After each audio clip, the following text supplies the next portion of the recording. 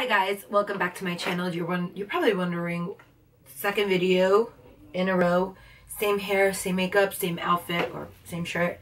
Yes, you've got it right because I'm utilizing all of my free time today. I actually did my makeup for the first time in a few days. So, you know, we're to take advantage of it. But in today's video, I wanted to share my top five bronzers with you guys. These are the staples in my makeup collection. These are items that I'm going to continuously repurchase because I feel that they are just that important to my life. I just wanted to film a quick video video for you guys so you guys can relax and get kind of away from the craziness that's going on. I just wanted to give you guys some content while we're all home, quarantined, and um, yeah, I really hope you guys enjoy this video, but before we get into it, please don't forget to subscribe to my channel and join this little family we have here. And yeah, let's go ahead and jump into my top five favorite bronzers. So I'm going to first start with cream. There's only two cream bronzers that I have here. And the first bronzer that we have is from Chanel. It's the Soleil Tan de Chanel and this is what I have on today. Well, I have another bronzer on, but um, this is the cream bronzer that I used today. And I also filmed this makeup. I don't know if you'll see that first or you'll see this first, but um, yeah, I really, really love this stuff. It's super creamy and easy to blend. And it's just the perfect tan shade if you're kind of like fair to medium skin tone. It blends easily and it looks really good. As you can tell, I've hit pan and I'm definitely going to repurchase another one when I officially run out. It's pricey, but this lasts a long time. I believe I purchased this maybe last November. So that just goes to show you that this does last a really long time. And now for the next cream product, it's from Milk Makeup. It's the matte bronzer in the shade Baked. Now, this is another product that I've also had for maybe almost a year now. I hope it hasn't expired, you know, but it works really, really good on my skin tone. And it claims to be matte, but when I apply this, it gives my skin a luminous finish. So I'm not sure where that name came from but I love this stuff. It works really nicely, super easy to blend. I don't apply it straight to my face. I like to use a brush when doing so. That way, you know, I don't apply too much. But what I also love about it is that it's super compact. So I keep it in my makeup bag when I'm on the go. And yeah, really love it. I think it's much more affordable than that Chanel bronzer. So if you're looking for a cream bronzer and you don't want to spend the Chanel money, definitely check this out. It is so worth the money.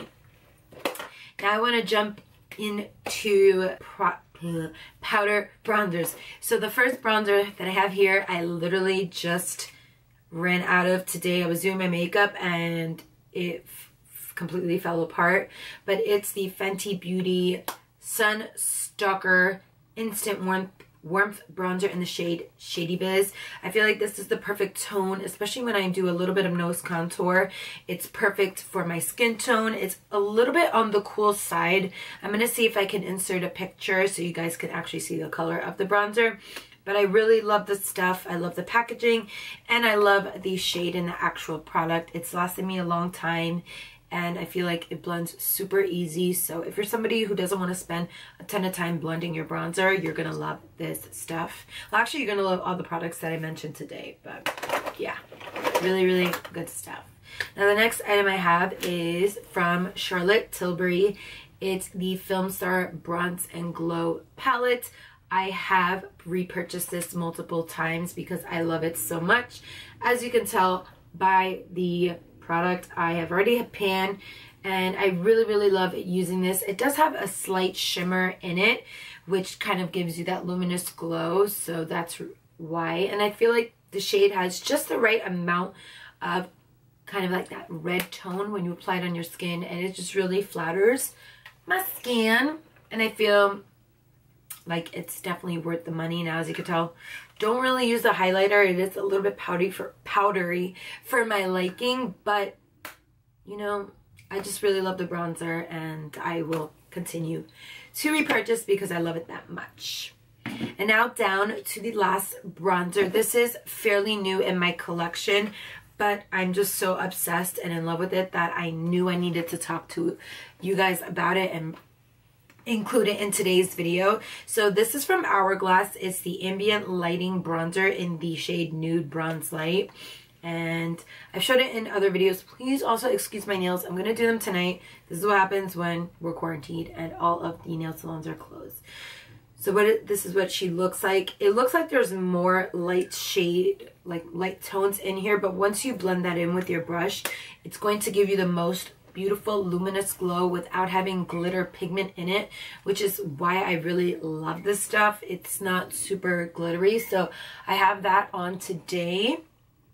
And I just think my skin looks phenomenal. I've been using this on an everyday basis and I really love it. It is pricey, but you do get a hefty amount of product and the packaging is honestly amazing. I've dropped this quite a few times and it's survived every time. So that goes to show that the packaging is legit. Alrighty guys, so those are all of my top five bronzers. I really love these products. As I said earlier, can't live without them and I would definitely repurchase.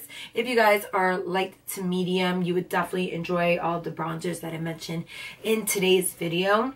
And with that being said, that wraps up this video. I really hope you guys enjoy are enjoying my top five series. It's just something that I've seen going around. I believe Alana Rama or Alana Davison does these videos frequently and she inspired me. I'm sure a lot of other people also do it, but she's one of the people that I got my inspiration from. And yeah, if you want me to continue doing these top five videos, just comment down below what top five videos you want to see from me. And before you go, please don't forget to like and subscribe to my channel. Enjoy my little family. And I'll see you guys in my next video. Bye, guys.